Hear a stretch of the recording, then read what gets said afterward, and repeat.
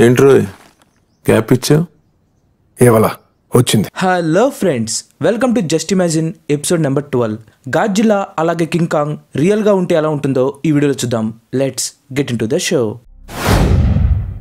Godzilla king of the monsters. కింగే మరి? ఒకే character మీద దాదాపుగా ముప్పై ఆరు films video games comic books ఇన్ని వచ్చాయంటే కింగేగా మరి. ఎక్కడో జపాన్లో పుట్టి ఇప్పుడు మొత్తం ప్రపంచంలో ఫ్యాన్స్ని సంపాదించుకుంది గాడ్జిల్లా.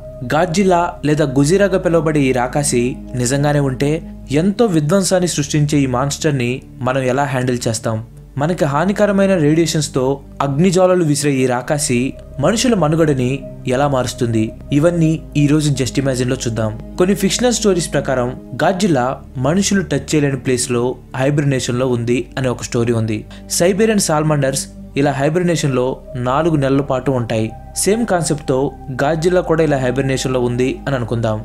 జస్ట్ ఇమాజిన్ సినిమాలో జరిగినట్టే న్యూక్లియర్ సబ్మెరైన్ రీసెర్చ్ కోసం తిరుగుతూ తిరుగుతూ వెళ్ళి గాడ్జిల్లా రెస్ట్ తీసుకున్న ప్లేస్లో రీసెర్చ్ చేస్తూ హైబ్రిడేషన్లో ఉన్న గాడ్జిల్లాని డిస్టర్బ్ చేసింది అనుకుందాం. అలా డిస్టర్బ్ చేసినప్పుడు ఏ పోనీలే దోమే కదా అని ఊరుకోకుండా లేచి దాన్ని చంపుదామనే ఉద్దేశంతో గాడ్జిల్లా నిద్ర లేచింది అని అనుకుందాం.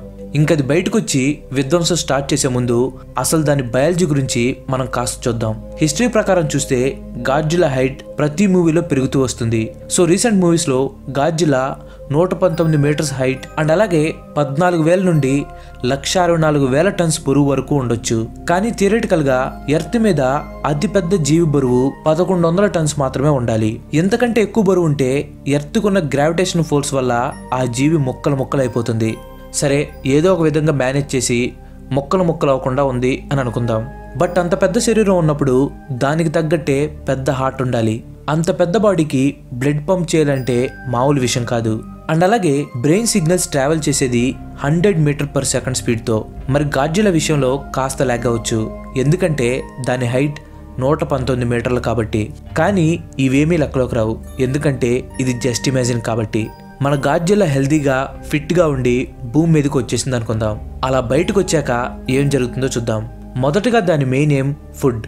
ఏ మనిషికైనా బ్రతకడానికి ఆహారం కావాల్సిందేగా? సో స్పృహలోకి వచ్చాక అది చేసే పని తినడం. సముద్రంలో ఉండే తిమింగలాలే ఒక్క పూటలో దాదాపు హాఫ్ టన్ ఫుడ్ని తినేస్తాయి. మరి ఇంత భారీ రాకాశకి ఆహారం అంటే కాస్త కష్టమనే చెప్పాలి. ఇంకా ఆహారం గురించి పక్కన పెడితే మనుషుల దగ్గరికి వద్దాం. స్వతహాగా గాడ్జిల్లా మనుషులకి ఎలాంటి హాని చేయదు కావాలంటే మీరే గమనించండి. వచ్చినన్ని మూవీస్లో మ్యాక్సిమం అది వేరే మాన్స్టర్స్తో ఫైట్ చేయటం లేదంటే మనుషులే గాజ్జిలని గెలుకుతూ ఉంటారు. అంతేకాని ఎప్పుడు ఫస్ట్ అది వారిని స్టార్ట్ చేయదు. అలా అని చెప్పేసి దానివల్ల నష్టాలు లేవు అని అనుకోకండి. దాని సైజ్ దాని ఆకారం వల్ల భూకంపాలు సునామీలు వచ్చే ఛాన్సెస్ ఉన్నాయి. అలా కాకుండా అది రావటమే మన మీద వార్ స్టార్ట్ చేసింది అనుకోండి ఇంకంతే సంగతిలో.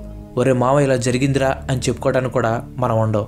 ఫ్లవర్స్ సన్ నుండి వచ్చే ఎలక్ట్రోమాగ్నెటిక్ రేడియేషన్ అబ్జర్వ్ చేసుకున్నట్టు గాడ్జులో కూడా న్యూక్లియర్ ప్లాంట్స్ నుండి వచ్చే రేడియేషన్ని అబ్జర్వ్ చేసుకుంటాయి. ఇలా అబ్జర్వ్ చేసుకున్న రేడియేషన్తో అగ్నిజ్వాలల్ని మన పైన ఊదుతుంది. ఇంత పెద్ద మాన్స్టర్ అది కూడా మన పైన మంటలు విసురుతూ ఉంటే మనం దాన్ని ఎలా ఆపగలం? మోడర్న్ టెక్నాలజీతో గాడ్జుల సైజ్ మెగాజోడ్ని లేదా రోబోట్ లాంటి గాడ్జులని తయారు చేసి దానికి అన్ని అప్గ్రేడెడ్ వెపన్స్ పెట్టి గాడ్జుల మీదకి అటాక్ పంపొచ్చు. కానీ గాడ్జుల స్ట్రెంత్ ముందు ఎలాంటి రోబోట్స్ పోనీ న్యూక్లియర్ బాంబ్తో అటాక్ చేద్దామంటే అది ఇంకా డేంజర్తో కూడుకున్న పని. ఎందుకంటే గాడ్జుల రేడియేషన్ని అబ్జర్వ్ చేసుకుంటుంది. అలాంటిది దాని మీద న్యూక్లియర్ బాంబ్ వేస్తే సార్ బాంబ్ కంటే వెయ్యి రెట్లు ఎక్కువ పవర్ఫుల్గా మారిపోయి మన మీద దాడి చేస్తుంది. సార్ బాంబ్ అంటే ఇప్పటి వరకు భూమి మీద పేలిన బాంబ్స్లో అతిపెద్ద బాంబ్ ఇవన్నీ కాదు గాడ్జులని పెంపుడు జంతువులాగా చేసి ఏదో ఒక జూలో లాగిపడేద్దాం అని అనుకుంటే మాత్రం మీరు పప్పులో కాలేసినట్టే. ఎందుకంటే దాని సైజ్కి అది విసిరే మంటలకి ఎప్పటికైనా సరే ఆ జూ మొత్తం కాలిపోవాల్సిందే. ఎలా చేసినా సరే ఈ గాడ్జిలని మనుషులు మాత్రం ఆపటం చాలా అంటే చాలా కష్టం. మరి ఎలా? గాడ్జిలని ఆపేదెవరు? దీనికి ఆన్సరే next just imagine topic.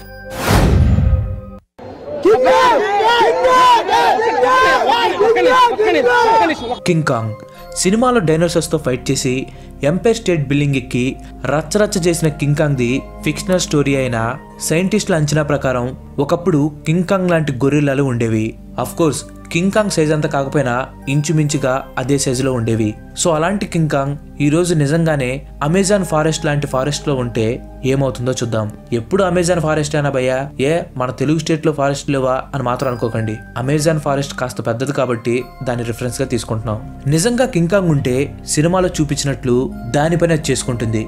బయట ప్రపంచంలోకి రావాలని అస్సలంటే అసలు కోరుకోదు. కింగ్ కాంగ్ ఒక జెంటిల్ జెంట్ అంటే మన భాషలో జెంటిల్మెన్ లాగా. ఎవరైనా గెలికితే తప్ప స్వతహాగా అది ఎవరి మీద అటాక్ చేయదు.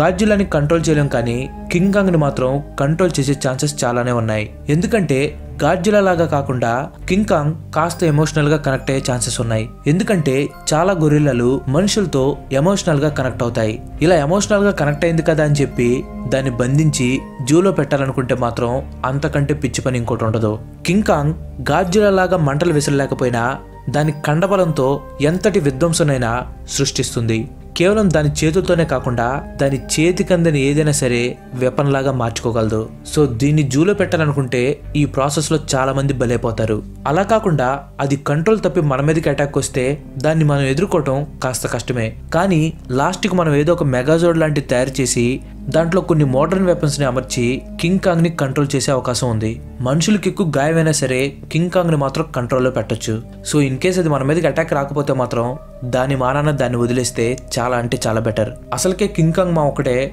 అడవిలో ఒంటరిగా తిరుగుతూ ఉంటాడు. అలాంటోడిని కదిలించుకొని కరిపించుకోవడం ఎందుకు? సో కింగ్ కాంగ్ని కింగ్ కాంగ్ మానాన వదిలేస్తే చాలా బెటర్ పోనీ సినిమాలలాగా నిజంగానే ఎవరికైనా ఎమోషనల్గా కనెక్ట్ అయ్యి సిటీలోకి వస్తే దాన్ని బంధించి బానిసలాగా చేయకుండా దానికి సపరేట్ జూ లాంటిది కట్టి దానికి ఫుడ్ హెల్త్ కేర్ లాంటివి ప్రొవైడ్ చేస్తే చాలు. ఇదంతా కింగ్ కాంగ్ ఎక్కడైనా బ్రతుకుంటే కానీ కింగ్ ఎవరైనా సైంటిస్టులు క్రియేట్ చేస్తే అయినా కింగ్ క్రియేట్ చేసే అవసరం ఏముంటుందంటారా?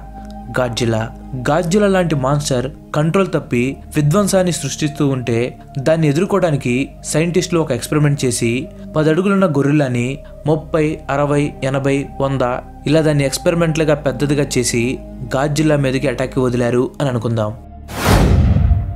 ఇప్పుడు గాడ్జిల్లాకి కింకాంగ్కి మధ్య వార్. ఆల్రెడీ సినిమా వచ్చేసింది. సినిమా మాత్రం మామూలుగా లేదు. మీరు ఇలాంటి మాన్స్టర్ సినిమాలు కనుక ఇష్టపడితే మీకు పక్కా ఎంటర్టైన్మెంట్ అయితే ఉంటుంది. సో ఇప్పుడు విషయానికి వస్తే సినిమాలు ఎలా ఉన్నా కానీ గాడ్జిల్లా కింగ్ కాంగ్ కంటే చాలా బలంగా ఉంటుంది. బట్ కింగ్ కాంగ్ మాత్రం మనుషుల సపోర్ట్ వెపన్స్ ఉండటం ఇవన్నీ కలిసి వస్తాయి కానీ ఈ రెండు కొట్టుకుంటే సినిమాలో చూడటానికి బాగుంటుందేమో కానీ నిజ జీవితంలో మాత్రం మనకు జరిగే నష్టాలని మనం ఇమాజిన్ చేసుకోవటమే కష్టం. గాడ్జిలా రోడ్డు మీద నడిస్తేనే సగం భూకంపం వచ్చినట్లు ఉంటుంది.